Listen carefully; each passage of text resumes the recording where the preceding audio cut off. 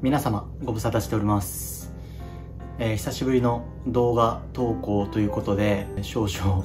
お聞き苦しいところもあるかと思いますが、えー、最後まで、えー、見ていただけたら嬉しいです。最後の動画投稿から2年ぐらい、え間が空いたと思うんですけれども少しずつ動画を再開していこうと思いましてカメラを回しています。YouTube を始めるようになってからいろんな方に声をかけていただいたりありがたいことに僕の活動をサポートしていただいたりということが増えて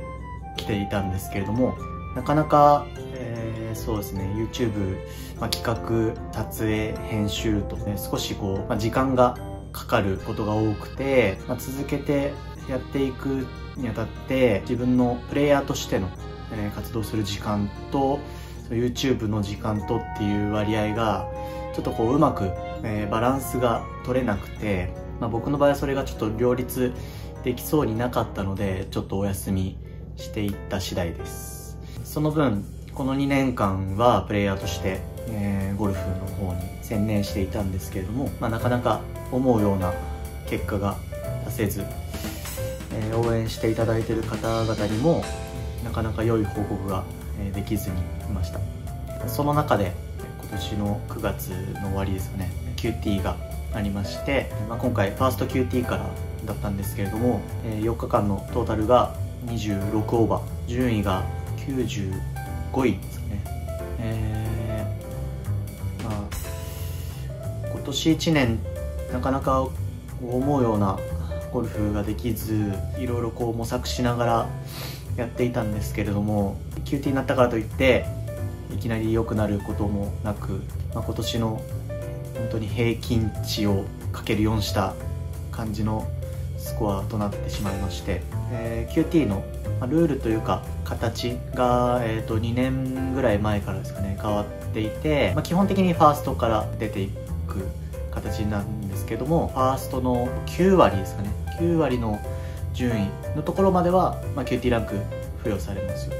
とそれより下の選手には QT ランク与えられませんよというふうにルールが変わりまして、まあ、僕はちょっと、えーまあ、95位という結果だったのでライン下だったんですね、まあ、なので QT ランクがもらえませんという形になって、ま、そうするとどういう影響があるかっていうと、まあ、来季のチャレンジツアー ABEMATV ツアーですねの各試合の予選会とかがおそらくま出られなくなるかなと。まあ主にそういう予選会に出ることが QT ダメだった選手のステージになるんですけれども、まあ、それにも出られない、まあ、もちろんオープン競技であったりとかミニツアーっていうのには誰でも出れるので出場することはできるんですけれども、まあ、やっぱり予選会に出てどんどんこうステージを上げていきたかったので、まあ、それに出れないっていうところで、まあ、来年は出れる試合も減って少しま自分の動きも変えていかなければいけないのかなというところです。自分のプレイヤーとしての活動する時間と、まあ、生きていくためにというか、えー、仕事をしていく時間とその割合が少し変わってくるかなと。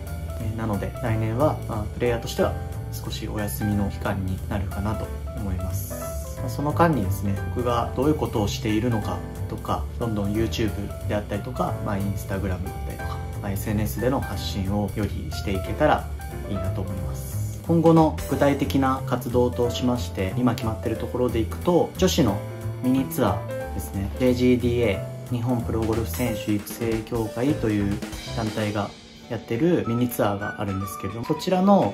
運営をお手伝いさせていただいておりましてそれも来季、まだ何試合できるか決まってないんですけれどもどんどんいい大会にしていけたらいいなというところでお手伝いさせていただいております。あとは少し前から、えー、僕のインスタとかで発信しているケアフォーターフプロジェクトですね。ピッチマークをゼロにしようという目標を掲げて活動しているプロジェクトなんですけれどもこちらも地道な活動ではあるんですけどもどんどんやっていけたらいいかなと思っております。ケアフォーターフプロジェクトに関しては第1弾の活動としていろんな方からご協賛をいただきまして土袋を制作しましてこちらをジュニアゴルファーに渡していくっていうのを第1弾としてやったんですけれどもそれに関しては200個作って全て渡し終えてジュニアゴルファーのみんなにですね目土をすることの、まあ、必要性というか大事さとかを、えー、ちょっとは伝えれたかなと思います。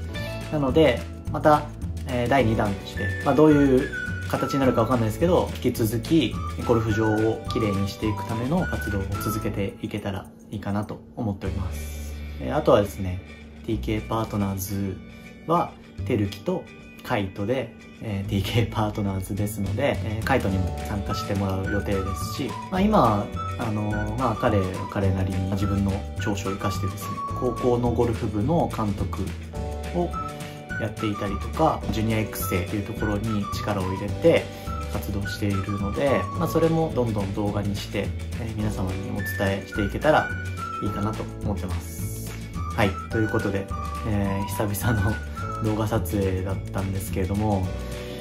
まあ、動画撮影こんなに難しかったかなと思うぐらいなかなかうまくいかなくてですね、まあ、ちょっとずつですね勘を取り戻しながら楽しい動画を作っていけたらいいかなと思いますのでこれからもよろしくお願いします。